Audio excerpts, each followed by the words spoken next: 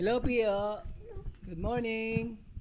Ngayon ay August 10, bispiras ng piyesta ni Santa Clara. Dito ay piyesta. Yan, no?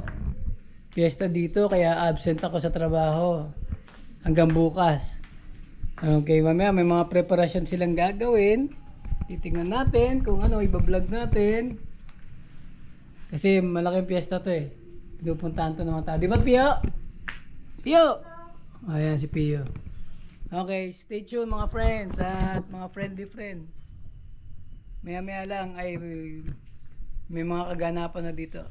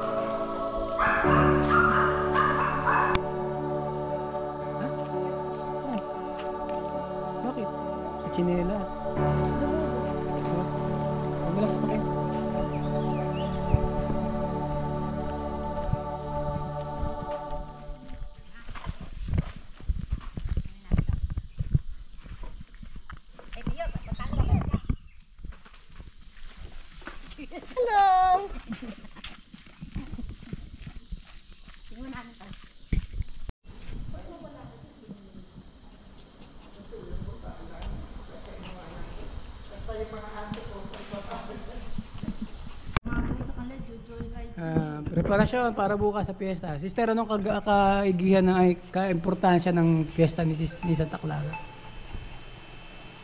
Eh, ang tuwing pista ni Santa Clara, ating ipinapaalala sa tao, lalo na yung mga tao na nananampalataya sa Diyos at nagdedeboto kay Santa Clara, ah, taon-taon pinapaalala natin sa kanila kung ano yung importansya at malaking kontribusyon na naibahagi ni Santa Clara sa simbahan nung siya ay nabubuhay pa.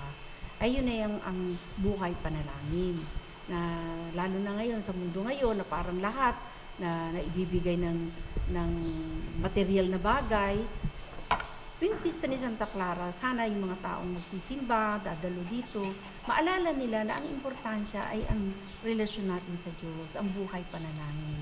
Hindi lahat na ibibigay ng mundo. Definitely hindi. Kaya sa buhay panalangin, tayo ay kumakapit sa Diyos. Ang ebanghelyo para sa pista ni Santa Clara ay ang ah, ah, si Jesus ang um, puno, tayo ang mga sanga. So, yun lang. Sana laging mapaalala sa mga tao na tayo ay sanga, na dapat laging nakadikit sa puno na si Kristo. Yun. Eh, ano Yun po lang bang po. mga kaganapan dito bukas? Ah, may misa ng alas 10. Tapos pagkatapos ng misa, merong prosesyon ng statwa ni Santa Clara at meron tayong ah, konting ah, ah, pakain para sa mga taong dumalo. Yun po. Sino, sino po ba mga darating? Mga paparian? Sino po ba mga ano, Ang, imbitado? ah, basta ang alam ko, si, ang darating ngayon ay si Bishop Misiona, si Bishop Juanich, at si Father Dimars. Ah, Hmm. Kasi ang mga kaparian ng, ng Bikaryato ay nag-retreat, yung iba siguro nakabalik na kahapon, pero yung iba hindi pa, so hindi namin sigurado kung sino ang available na makakapunta. Pero definitely yung mga kaibigan ng, ng mga madre na dito sa Palawan na laging tumutulong, sumusuporta sa amin, sila ay pupunta. Mga deboto ni Santa Clara. Ah, Okay, salamat po sister. Yan po si Sister Sonia, ang abes ng Fort Claire dito sa Palawan. Okay.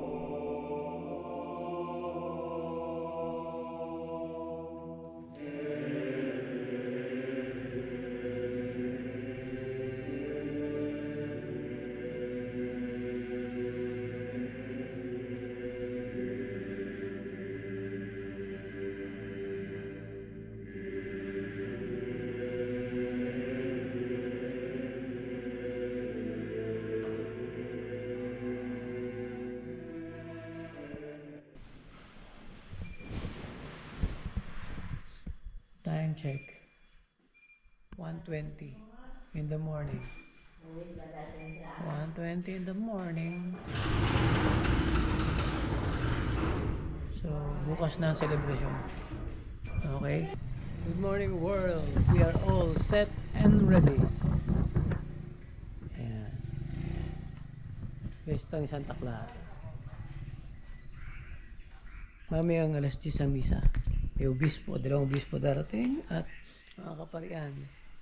Tapos may mga imbitado, mga religious din. So, mamaya tingnan natin ang kaganapan dito. Okay. So, let's see. Yung simbahan kagabi, tinapos namin. Siguro mga launa. Galas dos na kami nakatapos. Okay.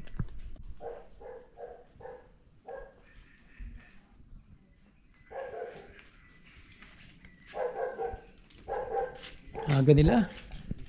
Sila yung mga tumulong dito mag-prepare. Ang aga. Ano oras kayo nandito? Ha? Alas dos? Grabe.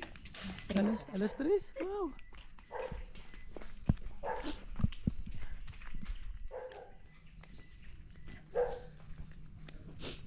May pabalon pa si sister. Okay, nagdadatingan na yung mga mga bisita. Ano sila?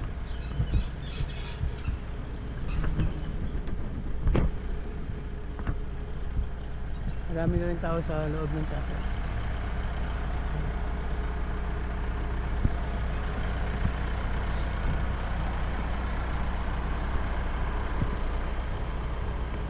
Puno na yung parking dito.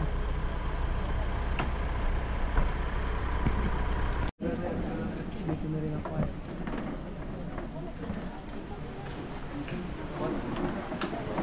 Nandiyan kita Nagsiso ka? Dali mo.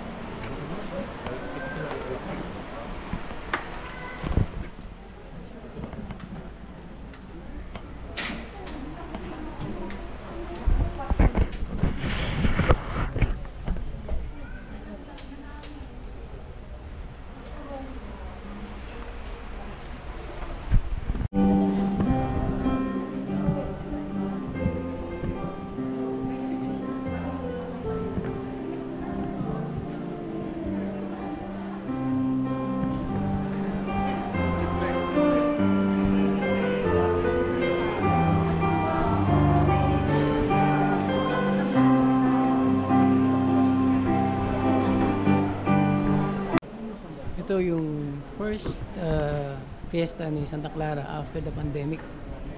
Kaya maraming tao. Yan. Sila sister. Okay. Andito na sila bishop.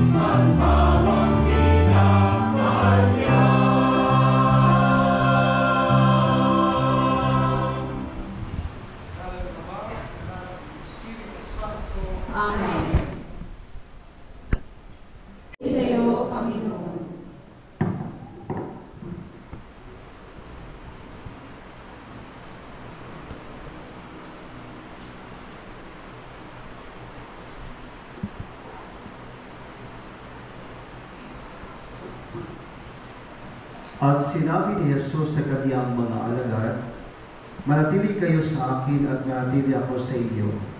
Hindi makapamumunga ang sangang hindi natiling nakakabit sa puno. Gayon din naman, hindi kayo makapamumunga kung hindi kayo manatili sa akin. Ako ang puno ng ubas, kayo ang mga sanga. Ang nanatili sa akin at ako sa kanya, ang siyang na ng sagana, sapagkat wala kayong magagawa kung kayo hiwalay sa akin. Ang hindi natili sa akin ay itatapon at matutuyo gaya ng sanga. Ang gayong mga sanga ay titipunin at susulugin. Kung natili kayo sa akin at natili sa inyo ang mga salita ko, hingin ninyo ang inyong kaibigan at ipagkakaloob sa inyo, na pararangalan ang Ama kung kayo'y namumunga ng sagana at sa gayo'y napatugnayang mga alagad ko kayo.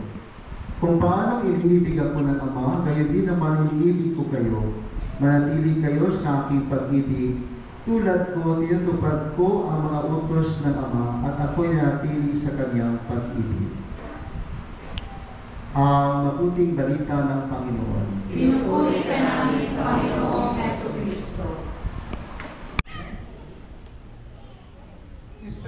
spend time in the Blessed Sacrament, but you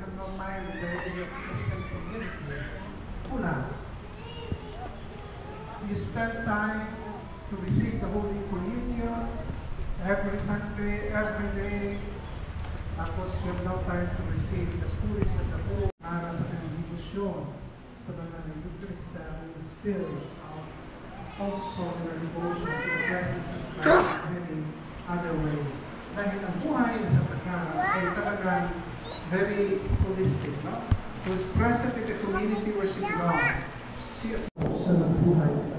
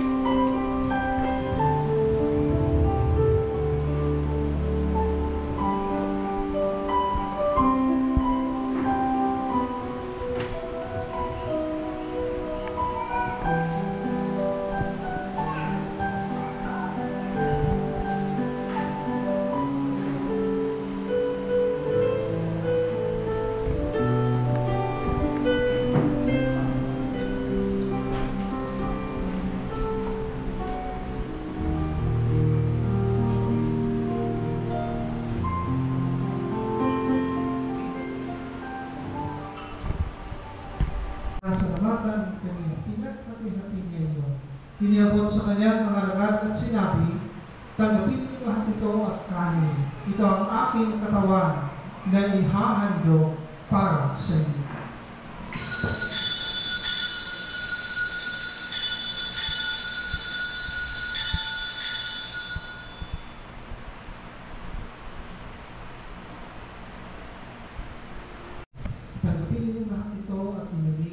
Kanis ng aking dugo ng bago at walang hanggang tipan. Ng aking dugo na bubuhos para sa inyo at para sa lahat sa kapagpapatawad ng mga kasalanan. Gawin niyo ito sa pag-alala sa akin.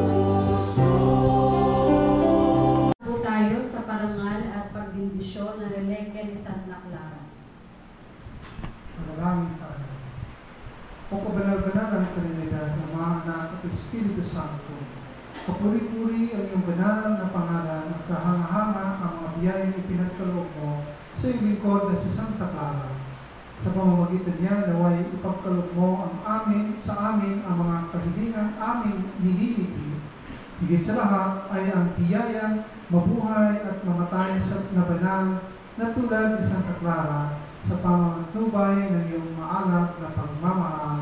Amen. Amen.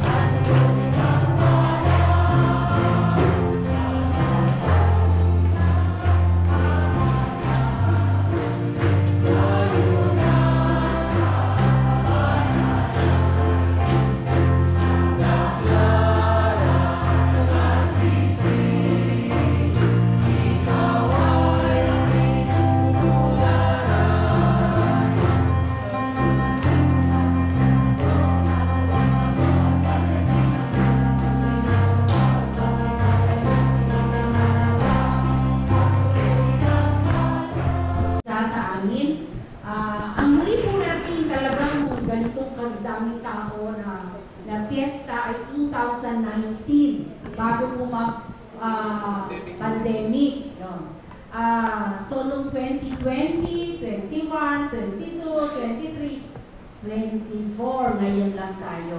So, marami pong nangyari sa atin, pagsubok, ano? Uh, nung last po tayong nag-fiesta ng 2019, nandito pa po yung aming superior, si Mother Mary Ann. Si Sister Rose, yung aking Chinese Hong Kong sister. Uh, last year naman, namatay Sister Bernadette. So, meron na kaming tatlong angels sa langit. Ah, nung kami po ay nagdesisyon na magpapiesta ulit ng pangkaramihan, meron kaming agam-agam, no? Kaya ba natin? Okay. Ah, kasi meron po rin kami mga madre na nasa Hong Kong, no? Ah, so sabi ko, kakayanin siguro. Katulad po ni Santa Clara, ang lagi lang, ang lagi ko lang dasal is God bless all our effort and bring success in the work of our hands. Kasi katulad po ng Ibanghelyo, wala po kami magagawa kung wala ang Panginoon. Ah, at ang Panginoon, katulad ng sabi ni, ni Bishop, ang Panginoon ay nagmamanifest hindi lang sa banal na sakramento, kundi pa sa mga tao. So, ngayon po gusto ko talaga magpasalamat sa lahat ng tumulong sa amin, sumuporta, ah, sa kanilang oras, no, pinansyal, at ang kanilang pagmamahal at pananampalataya sa Panginoon. Maraming, maraming, maraming salamat po. Alam niyo kung sino kayo. Hindi ko na iisa-isahin kasi sabi ng Diyos, mas may ganun pala yung done in secret. Ano? So, I will not deprive you of that. Okay? Let us uh, let us reserve the praise for God. No? The praise for God. So, maraming maraming salamat po. Unang-una sabi namin, nanangamba kami, na baka walang pare kasi nag-retreat ang pikaryato. No? Kaya wala kami, ng problema kami, baka wala kaming pare, misa sa sa nobena. Pero God, you know, we plan, but God executes. Lahat ng misa namin, may pari kami. Maraming salamat sa mga sumasagot. Father Lindaro, Father Matas, ano? Uh, Father Dimars, Father Danny, sila yung mga sumasagot sa amin. So nakabuo kami ng nobena na meron kami misa. Ngayon sabi ko, uuwi na kaya si Bishop? Kasi kung kung hindi umuwi si Bishop, eh, magpapasayaw na lang ako. Kasi walang mag... Pero, tingnan nyo naman, dalawang obispo ko. Ah, yan ang pagpapala ng Panginoon. No? At thank you Father Mars kasi yung nakita niyo yung mga sakristan, bipin niya lahat yun. Oo. Very, very organized. Thank you, thank you, thank you very much sa bawat isa sa inyo, sa bawat intensyon na inilagay niyo doon, pinapangako po namin, hindi lang ngayon, kundi araw-araw, iisa-isahin namin ang lahat ng inyong buhay. Thank you, thank you very much. God bless po. God bless. At of course, ang aking ever faithful wife. so, kami, ta, kami ay magkakatindag na tayo, ano? Pero ang gaganda pa rin ng boses. Thank you, thank you very much po.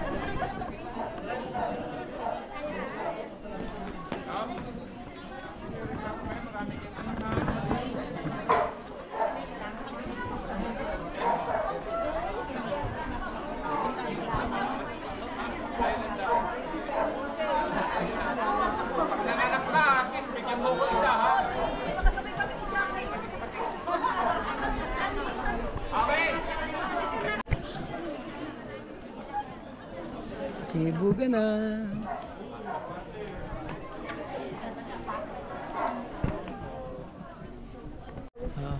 Ah, okay, this is it na ano, natapos na ang celebration. Siyempre, after na misa, kainan na. Yan, nag ang culmination ng fiesta ni Santa Clara. Dami dumalo. Ang dami dumalo. Sana lang magkasya yung pagkain. Yan. Pero mukha naman. Ayun. Masaya sila lahat. After the pandemic, tsaka uli na ulit ang ganitong fiesta. So, yun. Okay. Uh, so this is it. Uh, is Master D214 nagsasabing adios amigo. Ito na ang fiesta ng Santa Clara na ina- pinag-prepare namin na medyo matagal-tagal. Okay. So sana makita nyo ang uh, ng konti ang buhay ni Santa Clara at ang buhay Franciscano.